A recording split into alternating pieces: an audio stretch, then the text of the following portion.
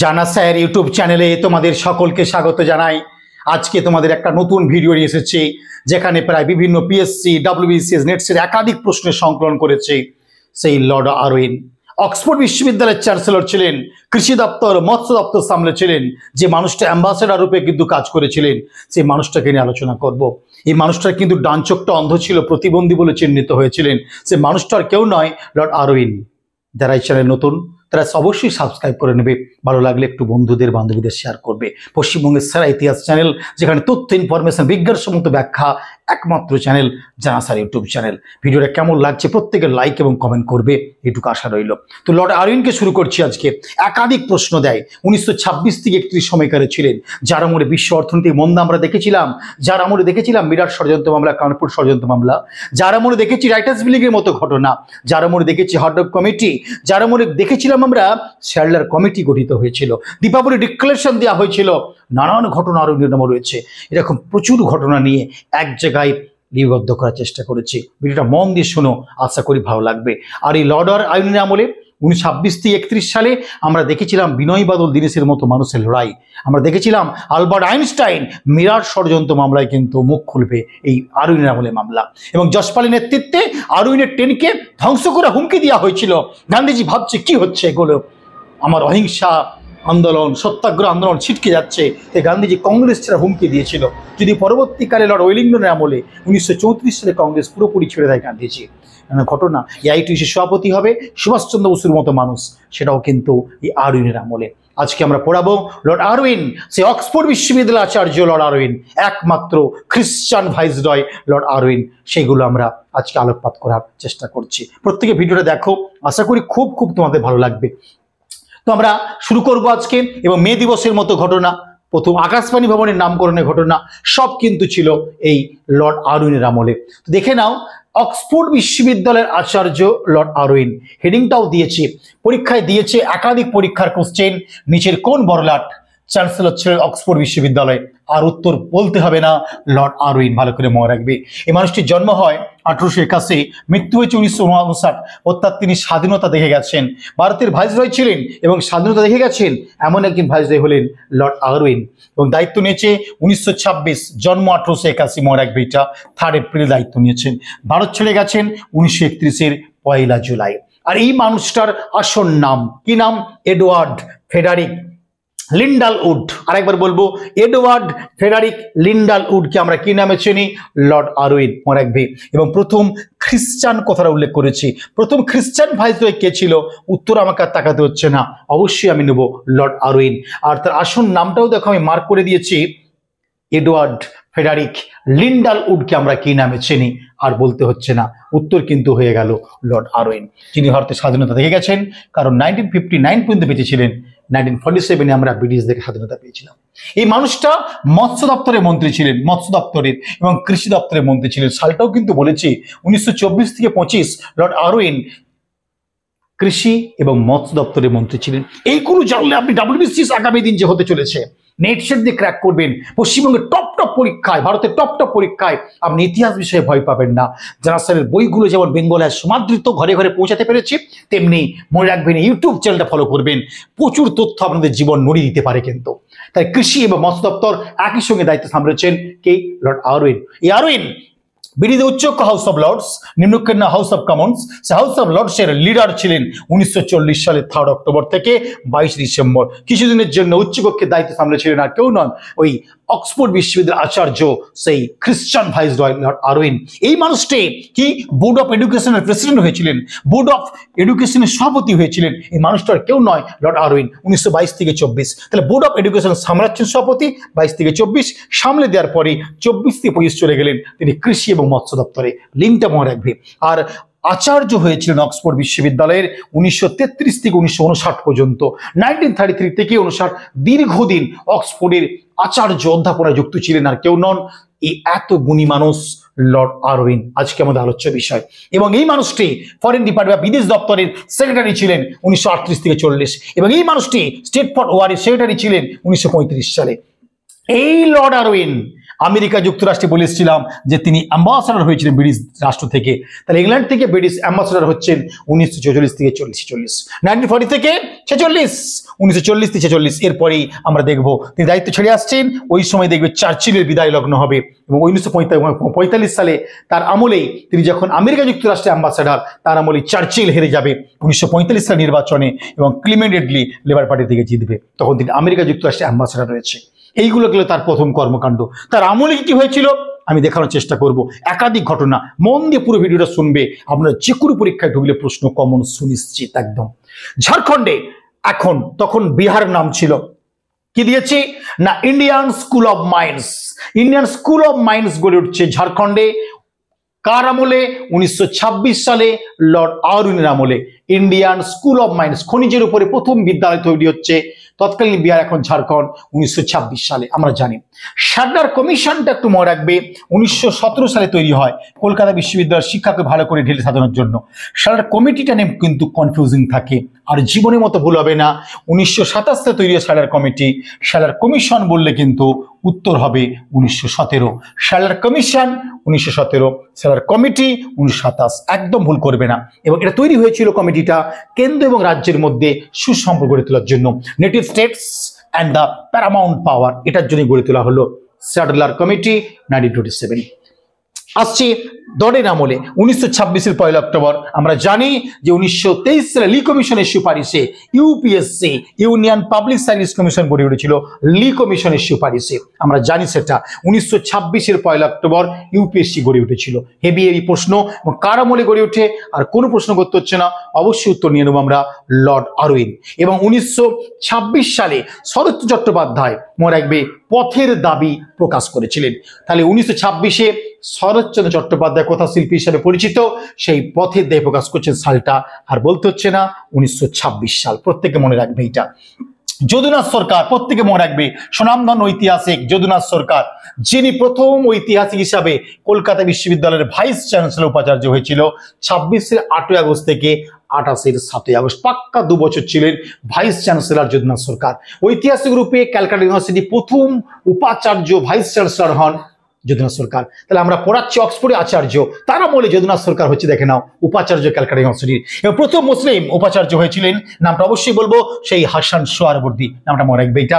তাহলে কলকাতা বিশ্ববিদ্যালয়ের প্রথম মুসলিম মুসলিম উপাচার্য হয়েছিলেন আর কেউ নন হাসান সোহারাবর্দী যিনি উনিশশো তিরিশ আটই আগস্ট থেকে চৌত্রিশে সাতই আগস্ট টানা চার বছর ছিলেন। তাই যদুনাথ সরকার এবং হাসান সোহারাবর্দী ভালো করে মনে রাখবে। প্রথম ঐতিহাসিক রূপে কে ক্যালকাটা ইউনিভার্সিটির ভাইস চ্যান্সেলর হন? প্রথম মুসলিম রূপে কে ক্যালকাটা ইউনিভার্সিটির ভাইস চ্যান্সেলর হন? এই দুটো প্রশ্ন ভালো করে মাথায় রাখুন, আপনার চাকরি সুনিশ্চিত। ছাব্বিশ থেকে আঠাশ যদুনাথ সরকার, তিরিশ থেকে চৌত্রিশ ছিলেন সোহারাবর্দী আরেকটা বলব নাইনটিন টোয়েন্টি সেভেনে ভীষণ ইম্পর্টেন্ট ইয়ার আরুণ আমলে free press of India agency আরেকবার free press of India agency প্রতিষ্ঠা করছেন কে? সদানন্দ। এই সদানন্দের নেতৃত্বে free press of India agency প্রতিষ্ঠা হয় নাইনটিন টোয়েন্টি সেভেন মনে রাখবে এটা।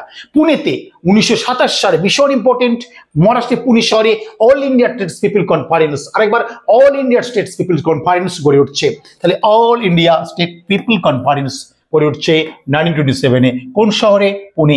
আরউইন ছিল ভাইসরয় বা হরলাট সাইমন কমিশন গঠিত হয় লন্ডনে নাইনটিন টোয়েন্টি সেভেন এই কমিশন উনিশশো আঠাশ সালে ভারতবর্ষে এসে। এবং ভারতীয় রাজ্যে স্লোগান দিয়ে তার নাম গোব্যাক সাইমন ছোট্ট করে বলে দিই, এই গোব্যাক সাইমন এবং ভারত ছাড়ো দুটি শব্দের জনক ইউসুফ মেহের আলী, তিনি বোম্বাইয়ের মেয়র হয়েছিলেন। ভারত ছাড়ো শব্দটির জনককে অনেক গান্ধীজি মেরে দিবে। কেউ মাতঙ্গিনী হাজরা মারবে, কেউ জওহরলাল উত্তর হবে না। ভারত ছাড়ো কথাটির জনক ইউসুফ মেহের আলী, প্রখ্যাত বোম্বাইয়ের মেয়র হয়েছিলেন। আর গোবেক সাইমন কথাটি জনক উদ্গাতা প্রাণপুরুষ প্রতিষ্ঠা করেছিলেন ইউসুফ মেহের আলী। এই ব্যক্তিগুলোর উপরে আসছে ইউটিউব আস্তে আস্তে ভিডিও। প্রচুর পাবলিকেশনের কাজ, প্রচুরভাবে ডিপার্টমেন্টের চাপ এত পড়ে গেছে, ইউটিউবে আসতে পারছি না। তবে আমি কুইক কামব্যাক করছি, ঢেলে দেবো তোমাদের জন্য একদম পশ্চিমবঙ্গের সেরা ইতিহাস ক্লাস কিন্তু একটাই চ্যানেল আপনারা সাবস্ক্রাইব করে রাখুন, বুঝতে পারবেন। আর যে যাই বলো প্লিজ একটা অন্ত বই হাতে রাখবেন। পশ্চিমবঙ্গের এখন সেরা বই জানাসারের বই এবং সেরা পাবলিকেশন আসতে পেরেছে তোমাদের আশীর্বাদে তোমাদের হাত ধরে সহযোগিতায় বর্ণপরিচয় পাবলিশার্স এক একটা বই জীবনে দাগ কেটে দিবে। কোনো আজে বাজে বই পাবলিকেশন দিয়ে আসবে না। আর এই পণ্য কুড়িটা করে প্র্যাকটিসের কোনো বই আসবে না। জীবনে নোম খাড়া করে দিবে। তোমাদের দাঁড় করিয়ে দিবে যে বইগুলি সেটা একমাত্র ঠিকানা বর্ণপরিচয় পাবলিশার্স মনে রাখবে এটা। তো হোক, এই সাইমন কমিশনের ভারতবর্ষে আসবে উনিশশো আঠাশ সালে লন্ডনে গঠিত হয়। সাতাশ সালে প্রশাসনিক সংস্কার বা অ্যাডমিনিস্ট্রেটিভ সংস্কারের জন্য এবং গো ব্যাক সাইমন কথাটি প্রথম লিখেছিলেন বা তুলেছিলেন ইউসুফ মেহের আলী। এই নামটি একটু মনে রাখবে। ইউসুফ মেহের আলী ভালো করে মনে রাখবে। এই ব্যক্তিটির নাম বোম্বাইয়ের মেয়র হয়েছিলেন। এই মুসলিম মেম্বারটি জনপ্রিয় মেম্বার। যিনি ভারত ছাড়ো শব্দটির উদ্গাতা এবং গো ব্যাক সাইমন কোথের উদ্গাতা কেউ নয়, ইউসুফ মেহের আলী। মনে রাখবে এটা। রয়্যাল কমিশন গঠিত হয়েছিল কৃষির উন্নতির জন্য, ইন্ডিয়ার এগ্রিকালচার ডেভেলপমেন্টের জন্য। নাইনটিন টোয়েন্টি সেভেনে কৃষি উন্নতির জন্য গঠিত হয় রয়্যাল কমিশন আরউইনের আমলে। এবং এই নাইনটিন টোয়েন্টি সেভেনে the Indian forest act pass হয়েছিল। আমরা জানি আঠারোশো পঁয়ষট্টি সালে জন লরেন্সের আমলে প্রথম বন আইন না হয়। সেই বন আইনকে তিনটে ভাগে ভাগ করা হয়। রিজার্ভ ফরেস্ট, প্রোটেক্টেড ফরেস্ট এবং village forest. Village forest, reserve forest, protected forest. আঠারোশো পঁয়ষট্টিতে জন লরেন্স প্রথম বন আইন এনেছিল। আর এইটিন সেভেন্টি এইটে লিটনের আমলে প্রথম ফরেস্ট অ্যামেন্ডমেন্ট হয়েছিল। আর বৃহত্তম ফরেস্ট অ্যামেন্ডমেন্ট হয়েছিল নাইনটিন টোয়েন্টি সেভেনে লর্ড আরউইনের আমলে দ্য ইন্ডিয়ান ফরেস্ট। প্রত্যেকে মনে রাখবে, এখান থেকে কোশ্চেন দিচ্ছে মাধ্যমিক সিলেবাসে এগুলো রয়েছে। মাদ্রাজে প্রথম শ্রমিক দিবস, মে দিবস পালিত হয়। নাইনটিন টোয়েন্টি সেভেন পয়লা মে, তখন বড়লাট ছিল আরবিন একাধিক পরীক্ষায় দিয়েছে, ভারতে প্রথম মে দিবস কবে পালিত হয়? মাদ্রাজ শহরে উনিশশো সাতাশ। কবে হবে? পয়লা মে। কোন বড়লাটের আমার পালিত হয়? আর বলতে হচ্ছে না। ছাব্বিশ থেকে একত্রিশ সময়কাল। উত্তর হবে লর্ড কিন্তু আরউইন সারা ভারত যুব কংগ্রেস সম্মেলন। সুভাষচন্দ্র বসু উনিশশো আঠাশ সালে কংগ্রেস অনুষ্ঠিত করেছিল কলকাতার বুকে। সারা ভারত ইউথ কংগ্রেস সম্মেলন কলকাতার বুকে তৈরি করেছিল সুভাষচন্দ্র বসু এবং কলকাতা জেলার সভাপতি হয়েছিলেন নিজে সুভাষচন্দ্র বসু, হাওড়া জেলা দায়িত্ব দিয়েছিলেন শরৎচন্দ্র চট্টোপাধ্যায়কে। ভারতের প্রথম লিখিত সংবিধান হিসাবে যাকে আমরা চিহ্নিত করি, সেই নেহেরু রিপোর্ট উনিশশো আঠাশ সালে তৈরি হয়েছিল এবং কংগ্রেসের লখনৌ অধিবেশনে এম এন আনসারির নেতৃত্বে মনে রাখবে উনিশশো আগস্ট মাসে এই নেহেরু রিপোর্ট হচ্ছে ভারতের প্রথম লিখিত সংবিধান। সেটা পাস হচ্ছে কার আমলে? লর্ড আওয়ারুনের আমলে। এবং নাইনটিন টোয়েন্টি এইটে সর্দার বল্লভভাই প্যাটেল নেতৃত্বে তৈরি হলো বা শুরু হলো গুজরাটেতে সেই বারদৌলি সত্যাগ্রহ। মনে রাখবে এটা। সর্দার বল্লভভাই প্যাটেলের নেতৃত্বে বারদৌলি সত্যাগ্রহ হয়েছিল। এই সর্দার উপরই গান্ধীজি দিয়েছিল প্যাটেলকে। মনে রাখবে এটা। উনিশশো আঠাশ সালে বারদৌলি সত্যাগ্রহ হয়। কোথায়? গুজরাটে। শহর বললে অবশ্যই সুরাট নিয়ে নেব। এবং সর্দার প্যাটেলকে বারদৌলি সত্যাগ্রহ সাহায্য করেছিলেন মেহতা ব্রাদার্স পরিচিত। মেহতা ব্রাদার্স কাদের বলা হয়? এই কল্যাণজি মেহতা এবং কনোয়ারজি মেহতা। এদেরকে ভারত ইতিহাসে মেহতা ভাই বলা হয়। কল্যাণজি মেহতা কনোয়ারজি মেহতা সাহায্য করেছিল। প্যাটেলকে মনে রাখবে? শামিল কমিশন ভারতবর্ষে এলো উনিশশো থার্ড ফেব্রুয়ারি মুম্বাই এসেছিল। এই কমিশন ভারতবর্ষে এলে প্রতিবাদ জানাচ্ছে রাজপদ রায়, তিনি আহত হচ্ছেন এই জন্য। আঠাশে তিরিশ অক্টোবর মারা যাচ্ছে, সতেরোই নভেম্বর উনিশশো আঠাশে সব ঘটনায় হয়েছিল আর উইনের আমলে। লাহোর অধিবেশনে কংগ্রেস প্রথম জানি, জওহরলাল নেহরুর নেতৃত্বে পূর্ণ স্বরাজের কিন্তু ডাক দিয়েছিল। কি দিয়েছিল? পূর্ণ স্বরাজের ডাক। লাহোর থেকে উনিশশো উনত্রিশ সালে সেটাও কিন্তু আরউইনের আমল এগুলো ডিটেলসে ভিডিও আছে, আপনারা দেখতে পারেন। জীবনে মানে আপনাদের অনেক ইতিহাস শিখতে পারবেন আপনারা। মুসলিম লীগের প্রাণপুরুষ আমরা জানি সে মোহাম্মদ আলী চিন্না। চোদ্দ দফা শর্ত পেশ করেছিলেন উনিশশো উনত্রিশ সালে। মনে রাখবে এটা। সেটাও কার আমলে? আরুনের আমলে। ভগৎ সিং, বড়ুকৃষ্ণ দত্ত দিল্লি পার্লামেন্টে বোমা নিক্ষেপ করেছিল উনিশশো উনত্রিশে আটই এপ্রিল। এবং একই বছর তেইশে নভেম্বর যশপাল আরউইনের ট্রেন ওড়াবার চেষ্টা করেছিলেন। মনে রাখবে এটা। যশপালের নেতৃত্বে আরউইন ট্রেন ওড়াবার চেষ্টা করে এই বিপ্লবী যশপাল, যিনি ভগৎ সিং এর নজন ভারত সভায় প্রতিষ্ঠায় বড় ভূমিকা নিয়েছিলেন এবং দিল্লির পার্লামেন্টে বোমা নিক্ষেপ করলেন বড়ুকৃষ্ণ দত্ত এবং ভগৎ সিং এর মতো মানুষ। এবং এই ঘটনায় যশপাল যখন আরউইনের টেন ওড়ার চেষ্টা করেন। এই ঘটনা পেয়ে গান্ধীজি কংগ্রেস ছেড়ে দেওয়ার হুমকি দেন। যদি উনিশশো সালে গান্ধীজি কংগ্রেস ছেড়ে দিয়েছিল এবং এই সময় গান্ধীজি হরিজন পরিক্রমা করেছিল। বারো হাজার মাইল পথ খালি পায়ে হেঁটেছিল। হরিজন পরিক্রমার মধ্য দিয়ে নাইনটিন থার্টি ফোর। আসব ভগৎ সিং কি করলেন? পুলিশ সুপারিনটেন্ডেন্ট সান্ডার্সকে হত্যা করার চেষ্টা করেছিলেন মারাক ভাইটা। এবং সেই হত্যার জন্যই উনিশশো আঠাশে সতেরো ডিসেম্বর ঘটনা ঘটেছিল। পরবর্তীকালে ভগৎ সিং এর নামে কিন্তু অ্যারেস্ট অর্ডার বেরিয়ে যায় মনে রাখবে তাহলে এই পুলিশ কমিশনার সুপারিনটেন্ডেন্ট সান্ডার্সকে হত্যা করছেন ভগৎ সিং। এই কার আমলে লর্ড আরউইনের আমলে এবং ভগৎ সিং কি করল? না হিন্দুস্তান রিপাবলিক অ্যাসোসিয়েশন, যেটা চন্দ্রশেখর আজাদ গড়ে তুলেছিল, তার মেম্বার নিয়ে সেখানে সোশ্যালিস্ট কথা যুক্ত করছে উনিশশো আঠাশ সালে লর্ড আরউইনের আমলে ভালো করে মনে রাখবে। হিন্দুস্তান রিপাবলিকান অ্যাসোসিয়েশন উনিশশো চব্বিশ সালে গঠিত হচ্ছে, চন্দ্রশেখর আজাদ গঠন করেছিল। এই দলে উনিশশো আঠাশ সালে যোগদান করে সোশ্যালিস্ট শব্দটা এনেছিল ভগৎ সিং। তাই এখন নাম হলো Hindustan socialist republican association, H S R A. মনে রাখবে। নাইন টোয়েন্টি এইট আরউইনের আমলে উনিশশো সালে ভগৎ সিং নিজে একটা দল গঠন করলেন, যার নাম নওজওয়ান ভারত সভা। ভগৎ সিংকে সাহায্য করেছিলেন কে? জয়চন্দ্র বিদ্যালঙ্কার, যশপাল ভগবতী চরণ সুখদেব থাপার প্রমুখ। মনে রাখবে, আবারও বলব নজন প্রতিষ্ঠায় নজন ভারত সভা প্রতিষ্ঠায় ভগৎ সিং এর সাহায্য করলেন সুখদেব থাপার ভগবতী চরণ যশপাল জয়চন্দ্র বিদ্যালঙ্কার প্রমুখর মতো। ভালো করে মনে রাখবে এটা। এই সভার দ্বিতীয় বার্ষিক সভাপতি হয়েছিলেন আর কেউ নন সুভাষচন্দ্র বসু। এবং উনিশশো একত্রিশ সালের তেইশে মার্চ ভগৎ সিংয়ের ফাঁসি হয়ে গেলে সুভাষচন্দ্র বসু দলটাকে এগিয়ে নিয়ে গেছিল। কোন দল? না নজন ভারত সভা। দীপাবলি প্রোক্লামেশন ডিক্লারেশন দিয়েছে ডাব্লিউবিসিএস পরীক্ষায় প্রশ্ন, অন্যান্য স্টেট পরীক্ষা একাধিক রিপিট লর্ড আরউইন আমলে দিয়েছিল কে? লর্ড আরউইন দীপাবলি ডিক্লারেশন কবে দিয়েছিল? উনিশশো উনত্রিশের একত্রিশে অক্টোবর। ভারতকে এই দীপাবলি ডিক্লারেশনের দ্বারা ডোমিনিয়ান স্ট্যাটাস বা স্বায়ত্ত শাসন দেওয়ার কথা বলে, কিন্তু কংগ্রেস কর্ণপাত করেনি, মনে রাখবে। হুইডলি কমিশন জারি হয়। উনিশশো সালে লর্ড আরউইনের আমলে শ্রমিকদের উন্নয়নের জন্য শ্রমিকদের কল্যাণার্থে উনিশশো জারি হয় হুইডলি কমিশন। এবং উনিশশো উনত্রিশ জারি হয় হাটক কমিটি। পরীক্ষায় দিয়েছে কোশ্চেন চমৎকার প্রশ্ন কিন্তু। এই Hartog committee B Ed D Ed question প্রশ্নগুলো দেয় বিভিন্ন টেট পরীক্ষা কোশ্চেন দেয়। সেই হার্ডক কমিটি গঠিত হয়েছিল উনিশশো উনত্রিশ সালে ভারতের শিক্ষা পরিকাঠামোকে পর্যালোচনা করার জন্য। ভালো করে মনে রাখবে হার্ডক কমিটিটা।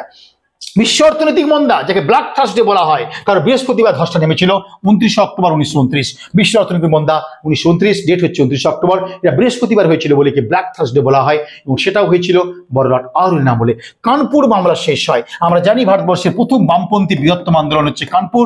শুরু হয় চব্বিশ, শেষ হয় আঠাশ। পরের বছরই শুরু হয় মিরাট মামলা উনিশশো উনত্রিশ, চলেছিল উনিশশো তেত্রিশ সালে। আর এই মিরাট মামলার বিরুদ্ধে প্রথম মুখ খুলেছিল Albert Einstein, Harold Laski, Franklin ডেনালো Roosevelt American রাষ্ট্রপতি রুজবেল্ট এবং আমাদের আইনস্টাইনের মতো মানুষ মুখ খুলেছিল বিরাট ষড়যন্ত্র মামলায়। উনিশশো উনত্রিশ সালে নভেম্বর মাসে স্বামী সহজানন্দ সরস্বতী গড়ে তুললেন বিহার প্রাদেশিক কিষাণ সভা। আরেকবার বলব, বিহার কিষাণ প্রাদেশিক সভা উনিশশো উনত্রিশ সালে গ্রহণ করেছিল স্বামী সহজানন্দ সরস্বতী। গান্ধীজির নেতৃত্বে আইন অমান্য শুরু হয় মহারাষ্ট্রের ওয়ার্ডা থেকে উনিশশো সালে আর উইনের আমলে। লন্ডনে প্রথম গোল টেবিল বৈঠক হয় উনিশশো তিরিশে বারোই নভেম্বর আর ইউনিয়ন আমলে এবং ডান্ডি মার্চ, ভীষণ ইম্পর্টেন্ট প্রশ্ন, যার আরেক নাম নীরব তীর্থযাত্রা বা কুইট পিলগ্রিমস। এই কুইট পিলগ্রিমস বা নীরব তীর্থযাত্রা কাকে বলা হয়? ডান্ডি মার্চের আরেক নাম। উনিশশো তিরিশের বারোই মার্চ থেকে উনিশশো তিরিশের পাঁচই এপ্রিল চলেছিল ডান্ডি মার্চ এবং ছয় এপ্রিল লবণটি ভেঙেছিল এবং ছয় থেকে তেরো এপ্রিল পালিত হয় জাতীয় সপ্তাহ বা জাতীয় লবণ সপ্তাহ। মনে রাখবে এটা। উনিশশো উনত্রিশ সালে আরুনের আমলে all India trade union Congress, যেটা গঠিত হয় উনিশশো কুড়ি সালে বোম্বাইয়ের এম্পায়ার থিয়েটার হলে। সে এআইটিউসির সভাপতি হন সুভাষচন্দ্র বসু উনিশশো উনত্রিশ সালে। মোহাম্মদ ইকবাল উনিশশো সালে মুসলিমদের জন্য পৃথক রাষ্ট্র দাবি করছেন। মুসলিম লীগের এলাহাবাদ অধিবেশন উনিশশো সেটাও কিন্তু কারামে উত্থাপিত হয়েছিল না, লর্ড আউরিন আমলে। অরিন যুদ্ধ। ভালো করে মনে রাখবে। চট্টগ্রাম অস্তাকা লুণ্ঠন উনিশশো তিরিশ সালে আঠেরো এপ্রিল করে, আর কেউ নন সূর্য সেন, মনে রাখবে এটা, যিনি চট্টগ্রাম মিউনিসিপ্যাল হাইস্কুলের প্রধান শিক্ষক হিসাবে দায়িত্ব পেয়েছিলেন কিছুদিনের জন্য, এবং বীজগণিত পড়া তিনি সূর্য সেন। উনিশশো তিরিশে আঠেরোই এপ্রিল চট্টগ্রাম হস্তাগার লুণ্ঠন করেছিলেন সূর্য সেন। ভালো করে মনে রাখবে। অলিন যুদ্ধ, যার প্রাণ পুরুষ ছিল বিনয় কৃষ্ণ বসু, সুধীর গুপ্ত, যাকে আমরা বাদল গুপ্ত নামে চিনি, এবং দীনেশ গুপ্ত। বিনয় কৃষ্ণ বসু, বাদল গুপ্ত বা সুধীর গুপ্ত এবং দীনেশ গুপ্তের নেতৃত্বে রাইটার্স বিল্ডিং বা মহাকন বিজান হয় উনিশশো তিরিশের আটই ডিসেম্বর। এটা কার আমলে হচ্ছে? লর্ড আরউইনের আমলে। ভগৎ সিং, শিবরাম রাজগুরু এবং সুখদেব থাপার ফাঁসি হয় উনিশশো একত্রিশ। আমরা পড়ি উনিশশো একত্রিশে তিন বিপ্লবী ফাঁসি হয় তারা কারা কারা? ভগৎ সিং শিবরাম, রাজগুরু এবং সুখদেব থাপার। আমরা কিন্তু পুরো নামগুলো বলি না। ভগৎ সিং, সুখদেব এবং রাজগুরু বলে বেরিয়ে চলে যায়। কিন্তু না ভুল ভালো বলবে না। ভগৎ সিং শিবরাম রাজগুরু সুখদেব থাপারে ফাঁসি হয় উনিশশো একত্রিশ তেইশে মার্চ যদি জুলাই পর্যন্ত ছিলেন উত্তর কিন্তু নিয়ে নেব আমরা লর্ড আরউইন এবং গান্ধীর চুক্তি আটবার বৈঠকের পর এইট টাইমস বৈঠকের পর, চৌঠা মার্চ রাত্রেবেলা সেট পরীক্ষা, চৌঠা মার্চে নিয়েছে, স্বাক্ষরিত হয়, অনেক পাঁচই মার্চ পাই। উনিশশো একত্রিশে চৌঠা মার্চ রাত্রেবেলা দিল্লিতে স্বাক্ষরিত হয়েছিল বলে এর আরেক নাম রাজনৈতিক নাম দিল্লি চুক্তি। কিন্তু এটা গান্ধী আরউইনের মধ্যে হয়েছিল বলে একে গান্ধী আরউইন প্যাক্ট বা গান্ধী চুক্তি বলা হয়। দিল্লিতে হয়েছিল বলে একে দিল্লি চুক্তি বলা হয়। আটবার বৈঠকের পরে নাইনটিন থার্টি ওয়ান এটি স্বাক্ষরিত হয়েছিল আরউইনের আমলে। এবং গান্ধীজির নেতৃত্বে জীবনের সবচেয়ে বড় সত্যাগ্রহ ধর্ষণা সত্যাগ্রহ করেছিল। মনে রাখবে, এটাও একটা লবণ সত্যাগ্রহ বলা যেতে পারে। এই ধর্ষণা সত্যাগ্রহ করেছে গান্ধীজি উনিশশো সালে। মনে রাখবে এটা। মতিলাল নেহরুর মৃত্যু হয়েছিল উনিশশো একত্রিশের ছয় ফেব্রুয়ারি। কারামলে আর বলতে হচ্ছে না, কংগ্রেস লিডার বোম্বাই আমাদের এলাহাবাদ হাইকোর্টে আইনজীবী মতিলাল নেহরুর মৃত্যু হয় nineteen thirty one, six February, Lord আউরিনের আমলে। খান আব্দুল গফর খান আইন আমন্নন্দন চলাকালীন, উনিশশো তিরিশে প্রতিষ্ঠা করল সেই খোদা ই খিদমতগার বা ঈশ্বরের সেবক নামক একটি দল, সেটাও কিন্তু লর্ড আউরিনের আমলে। গান্ধীজি এগারো দফা সংস্কারের দাবি ইয়ং ইন্ডিয়া পত্রিকায় ছেপে দিয়েছিল, উনিশশো তিরিশের তিরিশে জানুয়ারি, আর কারও আমলে নয়, সেই আরুণের আমলে এরপরেই কিন্তু শুরু হবে আইন অমান্য আন্দোলন। আকাশবাণী, কলকাতা রেডিও স্টেশন প্রতিষ্ঠা হচ্ছে উনিশশো সাতাশ এবং নামকরণটি করেছিল আর কেউ নন রবীন্দ্রনাথ ঠাকুরের মতো মানুষ। ভালো করে মনে রাখবে আকাশবাণী নাম করেছে রবীন্দ্রনাথ ঠাকুরের মতো মানুষ। চলো নেক্সট প্রশ্ন। বাংলায় ফজলুল হক উনিশশো উনত্রিশ সালে প্রতিষ্ঠা করেছিল নিখিল বঙ্গ কৃষক প্রজা পার্টি। আরেকবার বলব, নিখিল বঙ্গ কৃষক প্রজা পার্টি ডব্লিউসিসিপিলি কোশ্চেন ছিল, উনিশশো উনত্রিশ সালে তৈরি হয়। নিখিল বঙ্গ কৃষক প্রজা পার্টি গঠন করছে কে? ফজলুল হক, উনিশশো উনত্রিশ সালে। মনে রাখবে এটা। যিনি পূর্ববঙ্গকে আলাদা রাষ্ট্র, পাকিস্তানে বের করার জন্য সেই ঢাকা শহরে ডাক দিয়েছিল, চতুর্থ পানিপথের যুদ্ধ আমি করতে প্রস্তুত। যিনি পূর্ব বাংলার যুব শক্তি আমাকে সাহায্য করে, ভোট দেয় আমি চতুর্থ পানিপথের যুদ্ধের মধ্য দিয়ে। আমরা তিনটি পানিপথ পড়ি, পনেরোশো ছাব্বিশ সালে প্রথম পানিপথ, পনেরোশো ছাপ্পান্ন দ্বিতীয়, সতেরোশো একষট্টিতে তৃতীয় হয়েছিল। আর চতুর্থ পানিপথের যা ডাক দিয়েছিল, আর কেউ নন সেই ফজলুল হক, যিনি উনিশশো উনত্রিশে জন্ম দিয়েছিল নিখিল বঙ্গ কৃষক প্রজা পার্টি। যতীন্দ্রমোহন সেনগুপ্ত ব্রিটিশদের আইনকে হুঁশিয়ারি দিয়ে রাজদ্র আইন ভঙ্গ করেছিলেন এবং বই পড়া নিষিদ্ধ ছিল দিবালোকের রাস্তায় তিনি বই পড়েছিলেন। যতীন্দ্রমোহন সেনগুপ্ত রাজদ্র আইন ভঙ্গ করেছিল উনিশশো সালে, আইন অমান্য আন্দোলন চলাকালীন মরাক ভিটা লাহোর জেলে বন্দী ছিলেন যতীন দাস চৌষট্টি দিন অনশন করে মৃত্যুবরণ করেছিলেন উনিশশো উনত্রিশের তারিখ নভেম্বর আরুইনের আমলে তিনি আর কেউ নন, যতীন দাস। ভালো করে মনে রাখবে যিনি চৌষট্টি দিন অনশন করে মারা গেছিলেন। বিনয়, পূর্ব শিমুলিয়ার সন্তান বাদল আত্মহত্যা করল উনিশশো তিরিশ, আটই ডিসেম্বর। বিনয় বসু, ভালো করে মনে রাখবে, আমরা জানি, পুলিশ অফিসার লোমানকে গুলি করে হত্যা করেছিল উনিশশো তিরিশের উনত্রিশে আগস্ট। তারপরে ধরপাকড় শুরু হয়, সে দিন মারা গেলেন। তাই বিনয় কিন্তু মনে রাখবে এইটা, যে মাথায় ব্যান্ডেজ চিড়ে হত্যা, নিজে নিজে মরলেন, আর বাদলের আত্মহত্যা করলেন, দিনেশের পরে ফাঁসি হবে এবং তোমরা পরে জানো গার্লিককে হত্যা করবে, সেই জন্য কানাইলাল ভট্টাচার্যের মতো মানুষ। এই ছিল লর্ড আউরিনের আমলে বেশ কিছু ঘটনা আলোচনা করলাম। পরীক্ষায় ঢুকলে এই ভিডিও মন দিয়ে শুনবেন, এখান দিয়ে প্রশ্ন অনিবার্য আপনি কমন পাবেন বেশ কিছু তথ্য আপনার জীবনে নড়িয়ে দিতে পারে। যারা ডাব্লিউবিসিএস পরীক্ষার্থী প্লিজ এই বইটা আপনারা লুপে নিন, গ্রহণ করে নিন। বুঝতে পারবেন নতুন এডিশন বই বেরিয়ে গেছে, কী লেভেলের নশো আশি টাকা দাম হয়েছে এখন, ছশো ষাট টাকা পৌঁছে দিচ্ছি। তেরোশো ছত্রিশ পাতার বই দাঁড় করিয়েছি বইটাকে। আপনারা পড়ুন মাইন্ড ব্লোয়িং বই কিন্তু। প্রাচীন, মধ্য, আধুনিকের সেরা বই। নেট সেটের জন্য নিউ এডিশন বই বেরিয়ে গেছে। এই বইটা আপনারা স্টাডি করুন, জীবনের মোড় কেড়ে নিতে পারে। এই বইটিও কিন্তু বারোশো ছিয়ানব্বই পাতার বই, নশো পঞ্চাশ টাকা প্রিন্ট হয়েছে, ছশো পঞ্চাশ টাকা পৌঁছে যাবেন। স্ক্রিনে যে নাম্বারগুলো যাচ্ছে, যোগাযোগ করবেন, পেয়ে যাবেন। এবং রবিবার বাড়িতে আমার এবং শনিবার কলেজ স্ট্রিটে যারা অফলাইন ক্লাস করতে চাইছেন জানা স্যারের এবং মানুষ হতে চাইছেন, এখানে আসুন মানুষকে দায়িত্ব জানা স্যারের যারা বিভিন্ন পরীক্ষার জন্য এমসিকিউ খুঁজছেন ইতিহাস অধ্যায় ভিত্তিক অধ্যায় ভিত্তিক প্রশ্ন, কুড়ি হাজার ইতিহাসের জন্য শুধু বইটা কিনে নিন, কুড়ি হাজার পাঁচশো উনিশ টাকার বিনিময়ে পৌঁছে দিচ্ছে। এবং লেভেলের মতো বই মার্কেটে অনেক বই কিনবেন চটি চটি বই, প্রচুর দাম। সবচেয়ে কম দামে, সবচেয়ে স্টানের বই, একমাত্র বর্ণ পরিচয় আমরা ইতিহাসের উপর সাজিয়ে দিচ্ছি। এই বইটা আপনার বিভিন্ন পরীক্ষায়, কেন্দ্র এবং রাজ্যের সমস্ত পরীক্ষার প্রশ্ন এক জেনে দিয়েছি। এই বইটা যথেষ্ট সমাদৃত একটি বই। আপনার আজই সংগ্রহ করুন যে কোনো পরীক্ষার পূর্বে এই বইটাকে রপ্ত করে ফেলুন, কিন্তু সেরা কথা বলবে এই বইটা, একদম। এছাড়া চারটে মাদার বই দেখিয়ে দিচ্ছি। ইন্ডিয়ান পলিটি কনস্টিটিউশন যার জায়গায় যা বই আছে, বইটা পড়বেন। একটা অভিনবত্ব বই, ভীষণ হাই লেভেলের বই বের করে দেওয়া হয়েছে, যেটা অফুরন তথ্য পাবেন এবং বুধ ভার্সন এমসিকিউ পাবেন এবং পঁচিশ সালে যে বড় প্রশ্ন হবে, তারও কিন্তু সমার ঘটিয়ে দিয়েছে। ইতিহাস এবং ভূগোল, এই বইটা পড়ুন। পশ্চিমবঙ্গ, ভারত এবং বিশ্বের ভূগোলের উপরে কোনো কথা হবে না। বইয়ের ভরম দেখলে বোঝা যায় কাকে বলে বই। যেমন ম্যাপ পয়েন্টিং তেমন সায়েন্টিফিক লেখা হয়েছে। এবং কম্পিটিভ বিজ্ঞান পরীক্ষার বইটা হচ্ছে বিজ্ঞান বিষয় পরীক্ষার জন্য। যে কোনো পরীক্ষার শেষ কথা বলবে। যারা যে পরীক্ষায় দিবে, এই বইটা এগেন নিয়ে স্টাডি করো। আজকে এই পর্যন্ত রইল। আবার দেখা হচ্ছে নেক্সট ভিডিওতে কেমন লাগল আরউইন এবং অক্সফোর্ডে আচার্য মানুষটি কেমন লাগল একটু জানাবে। বাই